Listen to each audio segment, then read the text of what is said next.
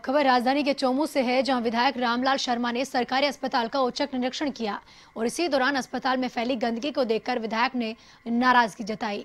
तो वहीं अस्पताल के वार्डों की दुर्दशा को देखकर विधायक ने सीएमएचओ नरोत्तम शर्मा को शिकायत भी की और साथ ही अस्पताल में तेरह डॉक्टरों की नियुक्ति के बावजूद महज तीन चिकित्सक उपस्थित होने पर भी उन्होंने जमकर लताड़ लगाई।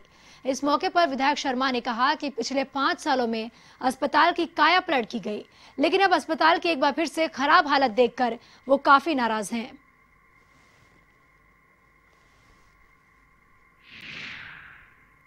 पिछले पाँच साल के अंदर बहुत मेहनत और परिश्रम करके और इस हॉस्पिटल को ठीक व्यवस्थाओं या जिसको मैं कहूँगी पटरी के ऊपर लाने का काम किया था।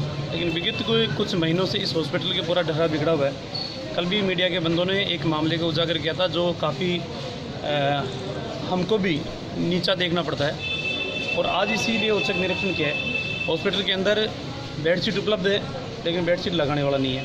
हॉस्पिटल के अंदर टॉयलेट है, लेकिन टॉयलेटों को साफ़ करने वाला नहीं है।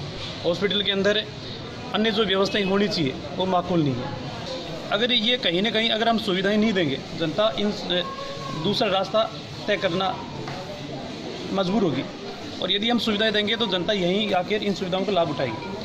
आज ही सी से मैंने बात की है और अभी समित शर्मा जी से मैं बात करके इससे हॉस्पिटल की एक जाँच करा के जो भी इस मामले के अंदर लापरवाही बरत रहे हैं, उनके खिलाफ कार्रवाई